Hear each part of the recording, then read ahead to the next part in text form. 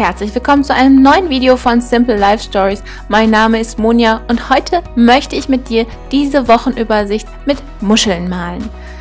Ja, und das ist auch gar nicht schwer, es ist ganz schnell gemacht. Du brauchst nur ein paar Stifte, damit du ein bisschen Farbe da reinbringst und dann kann es auch schon losgehen. Und dafür brauchst du erst einmal dein Bullet Journal, die Tombow Dual Brush Pen, hier den N15 und die 743 und 873. Und natürlich den Micron Fineliner und einen weißen Edding. Ja, wenn du das alles zusammen hast, dann kann es auch schon losgehen. Für dieses Spread nehme ich im Bullet Journal eine ganze Seite, denn ich möchte auch noch einen kleinen Kalender da reinpacken. Ja, und ich habe mir hier ein paar Punkte gemacht, damit ich jetzt weiß, wo ich die Striche machen muss und äh, zähle das jetzt einfach nochmal aus, damit ich ganz sicher bin, dass das alles so richtig ist. Und du kannst natürlich auswählen, welche Punkte du wo setzen willst und wie lang und breit du das haben willst. Ja, deswegen werde ich dir jetzt auch hier nicht die Punkte vorschreiben bzw. nennen, sodass du es ein bisschen freier gestalten kannst. Ich sag dir aber, ich mache das Ganze jetzt hier äh, ja, außer Hand. Ich möchte das nicht so gerade haben, deswegen werde ich das jetzt einfach mit der Hand versuchen, natürlich möglichst gerade zu malen, aber ja, es muss nicht hundertprozentig sein. Ich male auch am Anfang erst einmal die Muschel. Warum? Die Box muss ja drum herum und diesmal kann ich das nicht faken wie bei äh, dem Spread mit den Vasen, sondern muss wirklich erst die, die Muschel vorne haben und dann den Rest dahinter.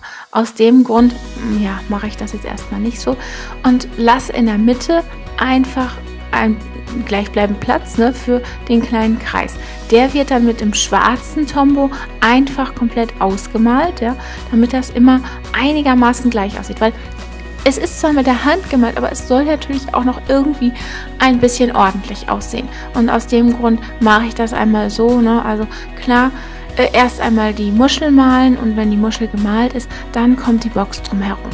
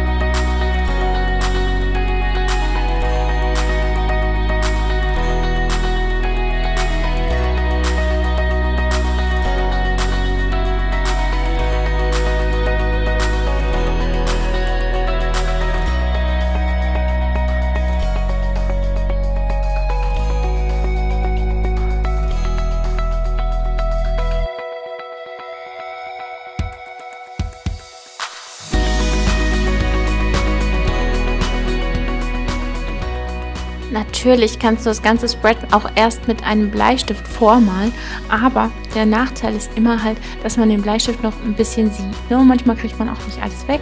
Deswegen habe ich gedacht, ich versuche das mal so auch ja selbst auf die Gefahr hin, dass da hier sich jetzt hier Fehler einschleichen können. Aber ich möchte jetzt einfach mal ausprobieren. Schau dir jede Muschel ganz genau an. Schau einfach, ob du die in, dein, in deine Box einarbeiten kannst oder eben vorher malen musst und dann erst einarbeiten kannst. Deswegen ist es ganz wichtig, dass du dir das vorab überlegst, weil ansonsten sieht das schon ein bisschen seltsam aus. Hier wäre es zum Beispiel auch besser gewesen, wenn ich erst die Muschel gemalt und dann mit der Box angefangen hätte. Aber naja, wie gesagt, es ist nicht immer so ganz einfach.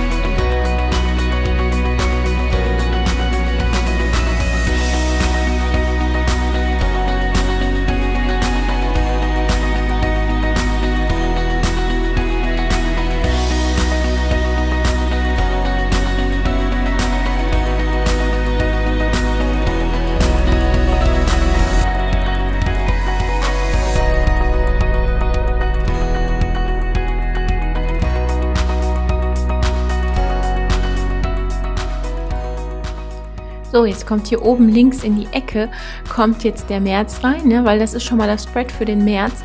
Habe ich mir gedacht, ich will diesen Monat mal ein bisschen was vorab machen, damit ich da schon mal ja, fertig bin.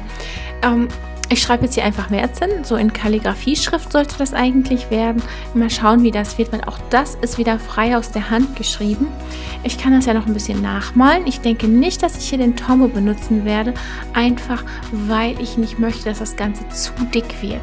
Ja, mit dem Tombo wird es ganz schnell viel zu dick und dann sieht das nicht mehr schön aus.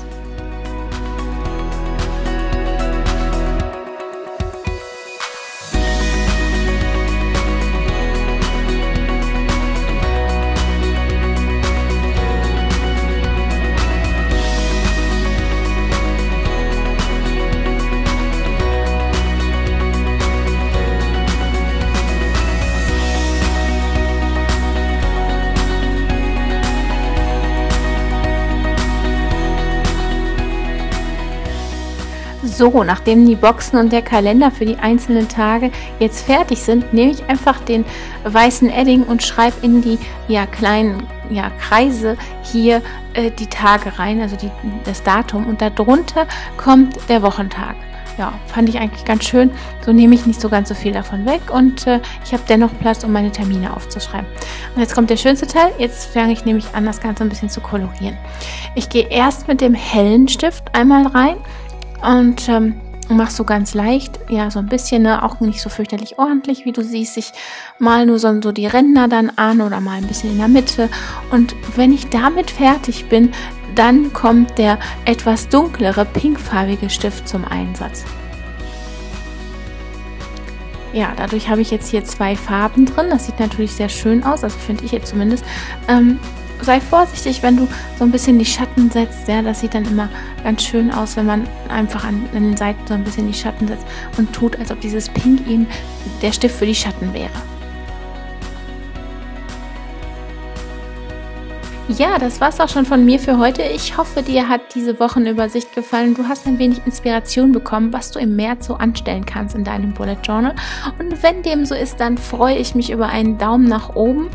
Und wenn du unseren Kanal abonnierst, natürlich auch. Vielleicht hinterlässt du uns auch einen Kommentar in, unter der Infobox. Ansonsten alle Materialien sind dort natürlich verlinkt. Auch der Link zu unserem Shop. Ja, und dann freue ich mich darauf, dich im nächsten Video wieder begrüßen zu dürfen. Bis dahin, tschüss!